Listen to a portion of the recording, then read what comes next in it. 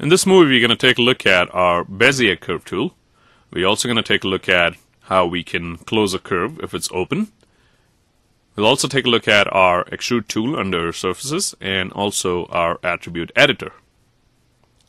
So let's go to our top view and I'm going to go under create Bezier curve tool and I'm going to click and drag and I'm using all the default settings on the Bezier curve click and drag, click and drag.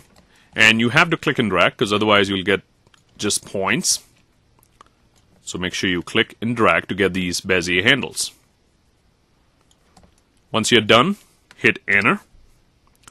Now I want to edit the curve a little bit, so right click, go to control vertex, and let's modify not only the points but also the handles by themselves, just so that it looks a little better.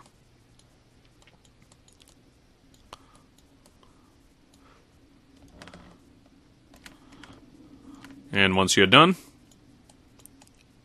you just right click, go to object mode. At this time, I'm also going to go the front view and use a tool which we've used before, which is the EP curve tool. Let's go to create, EP curve tool. So let's go here and start making an EP curve tool. I'm going to go really close. Make one here.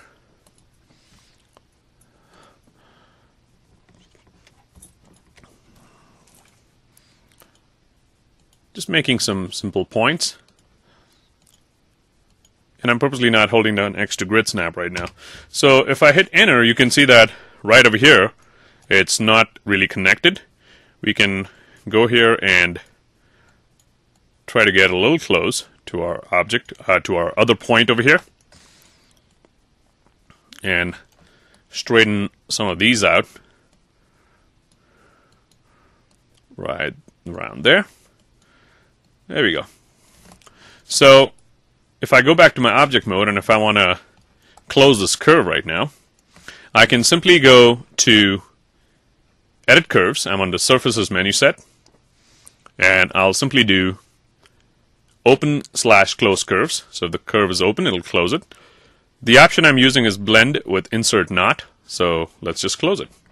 And you can see right there, it closed the curve. And you can obviously go back and modify your geometry. The next thing I'm going to do is, let's go to the perspective view. And the pivot for the object is right here at the origin. So let's go modify center pivot quickly.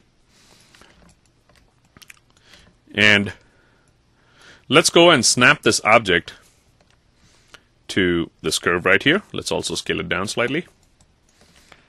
So I'm going to hold down C and middle mouse button and snap it right over there. And let's quickly rotate it. At this time, I'm going to select my curve. So the little shape is already selected. I'm going to shift select my curve. And I'm going to go under surfaces.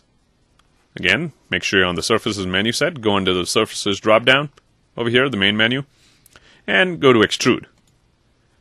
Let's take the default settings right now. So I just quickly reset my settings. And let's do an extrude. So you can see immediately we got this nice object over here.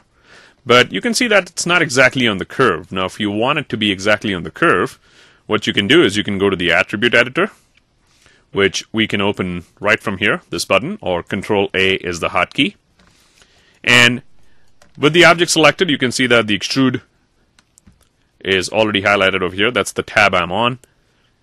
The extrude tab is a tube. I can change some of the options. The attribute editor is really, really good. It's going to be your best friend in Maya. Everything you do to the object is going to show up in the attribute editor, most of the things.